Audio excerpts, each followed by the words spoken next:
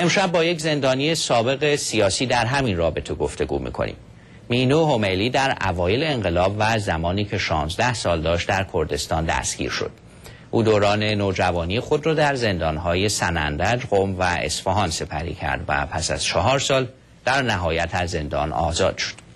او در سال 1999 به کانادا مهاجرت کرد و در حال حاضر مشاور امور پناهندگان در تورنتو هست. خانم مینو همیلی به شما سلام می‌کنم و درود میفرستم. سپاسگزارم از اینکه پذیرفتید برای نخستین بار داستان و روایت خودتون رو در برنامه شباهنگ از صدای آمریکا بازگو کنیم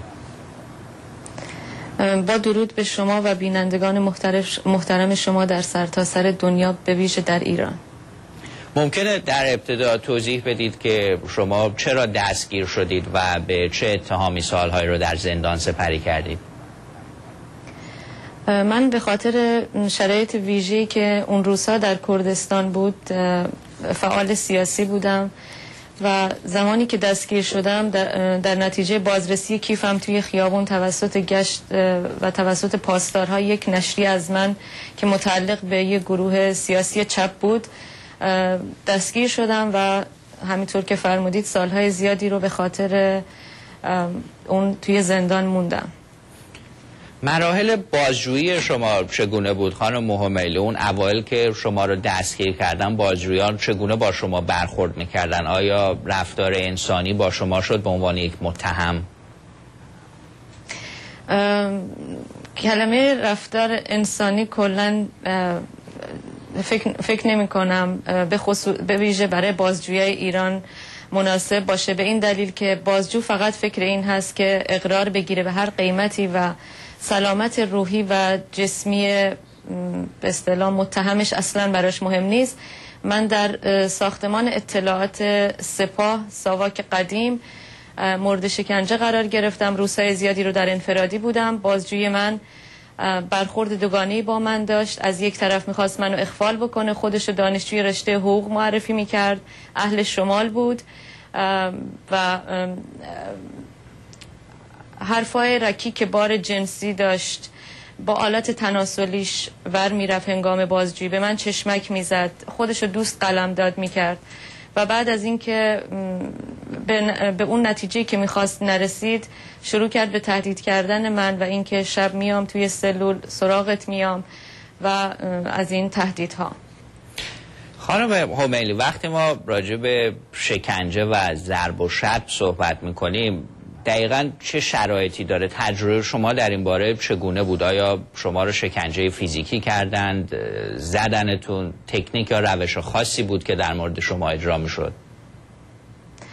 شکنجه کلا شامل شکنجه جسمی هست و شکنجه روحی. زمانی که شکنجه شدید و ضرب و شتم هست برای به اصطلاح اقرار گرفتن به خصوص در دوره ما برای لو رفتن قرارهای تشکیلاتی از سوی فعالان سیاسی بود و حد و مرزی نداشت. زدن کابل بود که اسم حدش تعذیر گذاشته بودن روش و خودتون از بقیه شکنجه ها مطلع هستین. تجاوز جنسی بردن به صحنه های اعدام. من رو شخصا به خاطر اینکه همکاری نمی کردم بارها تهدید کردن به اعدام. خودم شاهد اعدام های زیادی بودم و درست روبروی بندی که من توش بودم شبهای دوشنبه در زندان سنندج دادگاه انقلاب ناظر من و همبندیام ناظر اعدام بهترین ها بهترین های شهر سنندج فعالان سیاسی انسان های شریف ناظر اعدامشون بودیم که چگونه توسط کسانی که اسم انسان روشونه و به اینها با تکتیر شلیک می‌کردن و بعد از اینکه یه فاصله زیادی طی می‌شد و اینا در خون خوردشون میغلطیدن تیر خلاص رو بهشون می‌زدن و بعدش به خاطر اینکه ما رو آزار بدن رو به رو به بند ما با شلنگی که خونه اونا رو میشستن آب بازی می‌کردن. این بدترین شکنجه ای هست که من اعدام همشهریام و, و کسایی که هم عقیده من بودن رو به اصطلاح دیدم. شما اشاره مختصری داشتید به تجاوز و آزارهای جنسی که در زندان اتفاق میافتاد آیا خودتون تجربه مشخصی در این زمینه داشتید یا همبندانتون و کسانی که با شما بودن در این باره تجربیاتی داشتن؟ من همینطوری که اول صحبتم گفتم توسط بازجوم و یک تجربه که دارم تجاوز جنسی به اون معنی خاصش نبود تعرض جنسی بود و تهدید به تجاوز بود و پیشنهاد بود برای همخوابی. آزار جنسی بود از طرف کسی که معمور شده بود.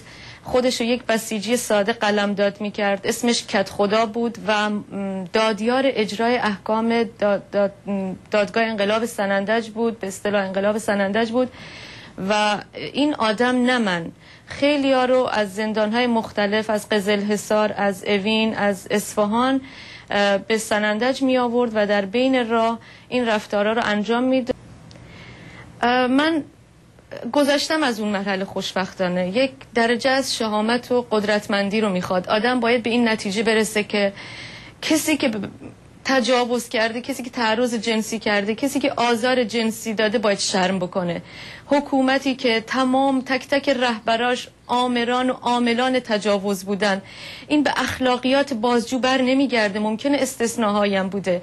ولی همیشه تو زندان وقتی رسوا می شدن می‌خواستن به ما بگن که بازجو تحریک شده. شما تو چشمش رو نگاه نکنین. یک, یک نمونه توی زندان اصفهان به اسم باقر فراش بود که به یک خانم تجاوز کرد و وقتی همبندی افشا کرد اینقدر زدش که نخواهش پاره شد و فلج شد.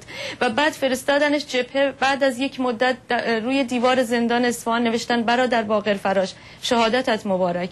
این که اینو بندازی گردن یک فرد این سم این آدرس غلط دادن به مردم. مردم باید بدونن این حکومت کلاه شرعی برای تجاوز گذاشته. امروز آقای مصباح یزدی علنی کرده برای اینکه به سیم آخر زدن. امروز میگه که تجاوز به پسران عمل لوات در زندان نیست مگر اینکه زندانی لذت ببره. باید ذکر بگی دختر رو جلوی یک نفر بهش تجاوز نکن پسر رو از این کلاهای شرعی روش می‌ذاره و میگه جایزه به اندازه یک حج ثواب داره به دختری که قبل از اعدام تجاوز بشه. خب وقتی اینها هست الان اعتراف می‌کنن این همیشه بوده منتها در پستو. و من برای این اینو عنوان می‌کنم که در بیفتم با این نگرش که من قربانی مقصر نیستم من برام سخته. برام سخته برای اینکه همیشه برای یک آدمی که سختی کشیده مکانیزمش فراموشیه. ولی من نمی‌خوام فراموش کنم. برای اینکه قربانی بیشتری خواهد داشت. نمی‌خوام سکوت کنم. من اگه تا به حال سکوت کردم به این دلیل بوده که توی ایران مخصوصا صحبتش نکردم به این دلیل بوده که کسی که خواستگار من بوده همسر سابق من شرطش این بود که توی زندان به تو تجاوز نشده باشه. خودشم انسان روشن فکری می‌دونست. برای اینکه جامعه من و پدر صاحب من من ناموس پدرم ناموس برادرم ناموس فامیلامم ناموس حتی مردای همسایه هستم. برای همین سرشکستگی قلم داد میشه در حالی که این جو باید شکسته بشه.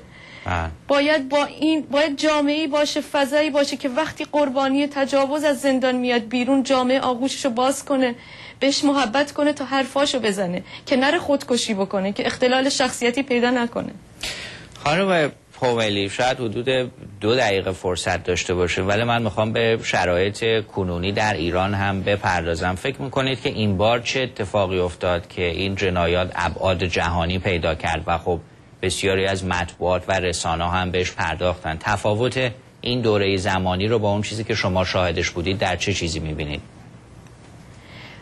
دوره ما ماها خیلی مظلوم واقع شدیم. از این نظر مظلوم که مثل امروز دنیای اینترنتی نبود. امروز زندانی توی زندان وبلاگش رو روز می‌کنه. افتارش رو با خوشبختانه خوشحالم که شرایط بهتر شده. زندان ما هولناکتر بود مخوفتر بود شکنجه هامون بیشتر بود. زمان ما سن میانگین سنی پایین تر بود. زمان ما اعدام های دست جمعی قتل عام بود. کسایی که حکم کشیده بودن اعدام می شدن امروز وقتی که به قول معروف چاقو دسته خودش رو می‌بره اعتراض اعتراض میشه و خوشبختانه به خاطر وجود اینترنت همه دنیا می‌فهمن. یه عده به خاطر مسلحت اندیشی پنبه ناشنوایی رو تو گوششون کرده بودن. وگرنه گزارش های سازمان های مدافع حقوق بشر سازمان ملل و سازمان عفو بین الملل همیشه گفته که در ایران تجاوز بوده در ایران شکنجه بوده.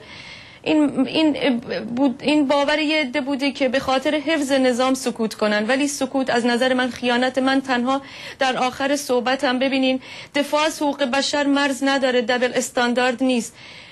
الان همبندی من توی شهر اشرف با اینکه من مرز دارم باش مرزبندی دارم از لحاظ ایدولوژی سیاسی ولی اونجا به تجاوز تهدید شده. یه عدهشون رو کشتن توی شهر اشرف. کسی که در زندان اصفهان با من بوده خدا می‌دونه چند تا دیگه اونجا هستن. اینا مورد تهدید جنسی قرار گرفتن هزار تا زنی که در اشرف هستن. آیا ما مدافعان حقوق بشر باید به صرف اینکه اونها مجاهد هستن سکوت کنیم؟